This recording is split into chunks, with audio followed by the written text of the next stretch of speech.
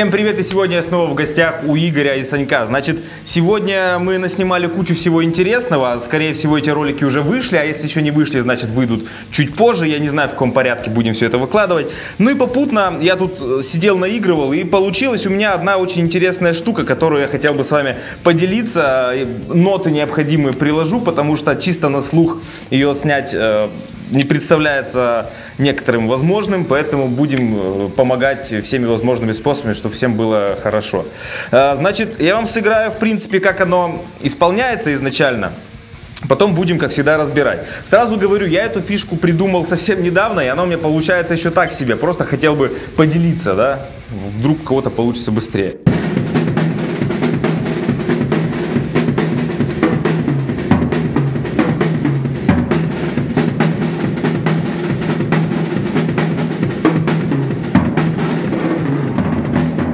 Основная сложность здесь, конечно же, в том, что э, в основе лежит моя любимая линейная техника. То есть у нас руки играются через ногу в определенной последовательности, но при этом э, две загвоздки. Первая загвоздка, что у нас активно начинают э, врываться, так скажем, двоечки, которые ускоряют этот процесс, делают его таким более рассыпчатым. И, соответственно, э, вторая сложность в том, что потом у нас рука развязывается и начинает продолжать движение по томам. Вот. И при этом нога должна очень четко э, пробивать эти промежуточные удары, потому что, в принципе, нога здесь является связующим звеном. То есть, если мы эту ногу уберем э, или сыграем плохо, то вся эта штука рассыпется, потому что руки здесь э, больше как аккомпанируют всему этому делу, а нога выступает как такой мощный каркас. Поэтому вот эти вот доли которые идут, собственно, в плане ноги, они должны совершаться довольно четко. А, давайте разложим э, сам скелет вот этой песни, э, песни, замечательное название, да, вот этого упражнения. А, я приложу, соответственно, сейчас ноты где-то вот здесь вот они будут. Вот, и начнем, соответственно, с разбора основы этого упражнения.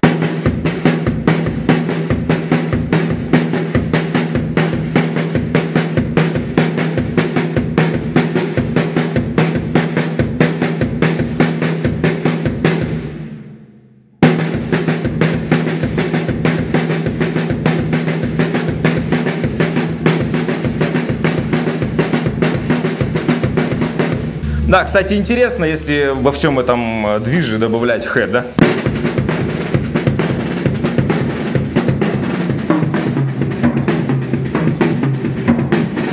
Значит, когда мы разобрали основу, э, самое время добавить двоечки на первые два удара, которые у нас эту тему разгоняют. То есть у нас начинается с двух ударов одиночных. Вместо этого мы пускаем эти две руки на двоечки.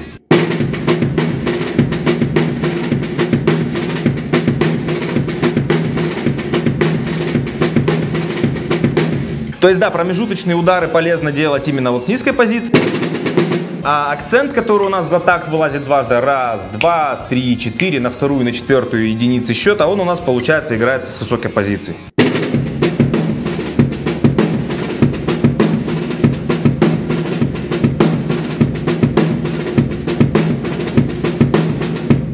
Соответственно, следующая наша задача это просто отделить два такта друг от друга. Первый такт у нас играется с помощью двоечек э, во вступительных двух ударах, а второй такт у нас играется так, что правая рука, то есть аппликатура ударов абсолютно та же самая.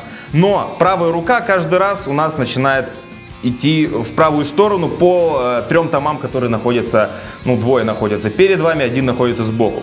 Э, по раскладке она, получается, проходится по волне туда-обратно. То есть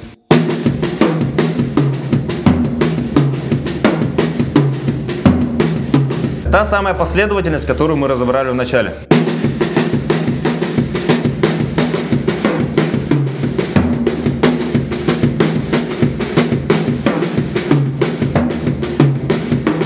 самом деле, если у вас есть какие-то ковбеллы или там дополнительные перкуссионные элементы перед вами, там тамбурины, можно тоже поэкспериментировать в плане правой руки.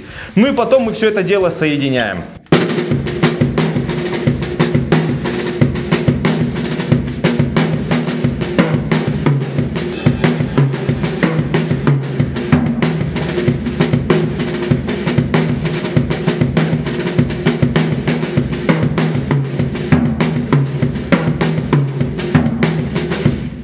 Соответственно, по итогу хочется, чтобы, конечно же, у нас добавился head.